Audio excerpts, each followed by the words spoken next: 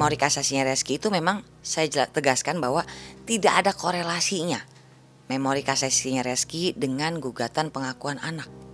Jadi dia membawa-bawa saya segala macam katanya saya dibilang menipu dia masalah rumah.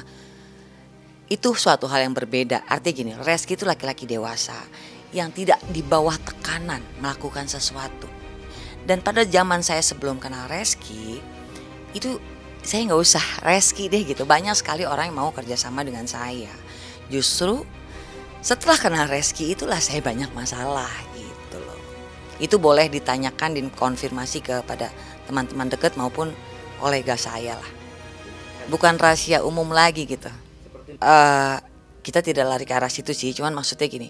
Kalau mau lari ke arah situ kan berarti ini case yang berbeda, dipisahkan. Di sini saya tetap adalah seperti gugatan awal kita tentang pengakuan anak dan tuntutan. Gitu kan? Tapi kalau Reski berbicara hal lain ya silakan. Kita bicara hal lain, tapi tidak dalam di area ini. Itu tidak ada korelasinya. Jangan mengaburkan fakta. Jangan membuat alibi-alibi lain yang tidak sesuai gitu loh. Jadi saya berharap sekali pada majelis hakim ya Mahkamah Agung gitu kan dapat menilai dapat menelaah, meneliti kasus ini lebih dalam lagi gitu kan. Di sini kan saya menuntut pengakuan anak dari awal muncul gitu.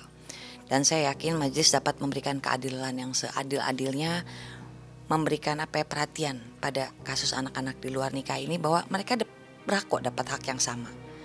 Mereka tidak bisa memilih gitu kan, mau dilahirkan dalam keadaan seperti apa gitu. Dan mereka tidak berhak menanggung kesalahan kedua orang tuanya. Uh -uh. Dan kalau misalnya saya ada masalah pidana misal dengan Reski, pasti saya sudah dilaporkan gitu kan. Ada semua, ada semua. Jadi kita kerjasama, kerjasama dalam suatu uh, ber, apa kerjasama dalam suatu perusahaan gitu kan, masing-masing mengeluarkan jaminan. Jadi di mana nipunya? Jangan membuat kabur permasalahan deh. Itu semua kan ada datanya. Dan bank yang saya kerjasama bank besar loh.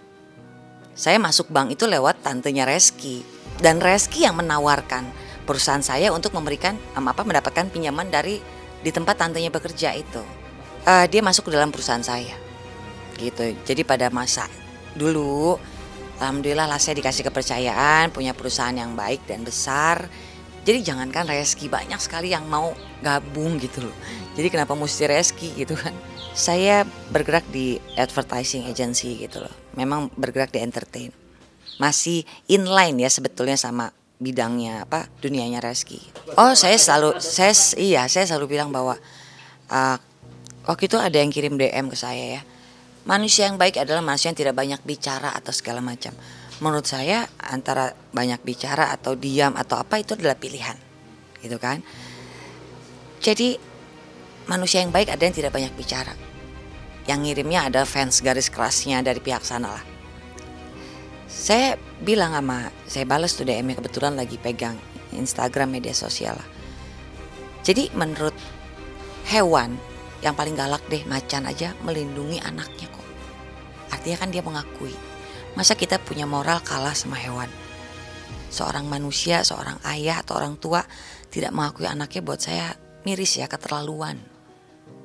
Saya kenal Reski gitu ya saya wah udah ancur-ancuran lah maksudnya saya tidak menyalahkan ya artinya sudah menjadi perjalanan hidup saya kehilangan uang berapa banyak saya tidak pedulikan gitu tapi alangkah mirisnya di sini seorang ayah tidak mengakui anaknya sedangkan saya tahu persis perlakuan Reski terhadap anak saya waktu kecil bagaimana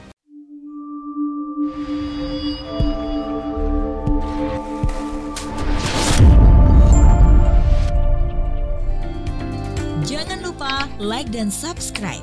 Sekali lagi ya, like dan subscribe. Gratis loh.